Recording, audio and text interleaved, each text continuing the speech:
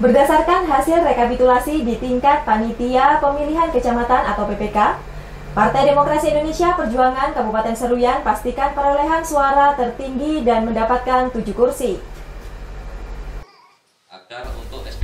Pelaksanaan rekapitulasi perhitungan surat suara di tingkat kecamatan telah terselesaikan, sehingga partai politik dan para peserta pemilu sudah dapat melakukan perhitungan terhadap perolehan suara.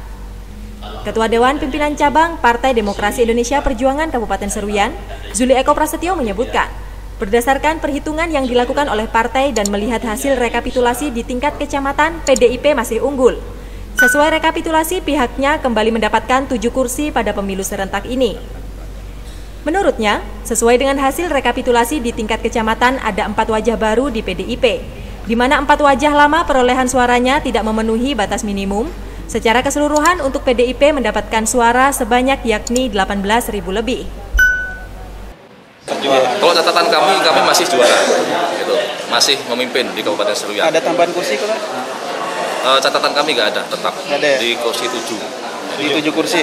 Tapi kalau untuk di dapil satu ada tambahan? Ada tambahan, ada pergeseran ya dari yeah. tujuh itu dulu tiganya di dapil tiga ya, mm-hmm. Seruyan tiga, sekarang di Seruyan satu. Itu hitungan kami itu ya. Yeah, yeah. Dan saya yakin juga nggak berubah ya, itu karena sudah pleno kecamatan sudah kami dapat datanya semua.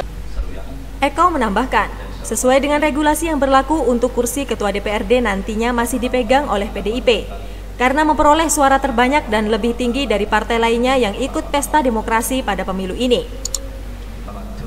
Tim Liputan Seruyan TV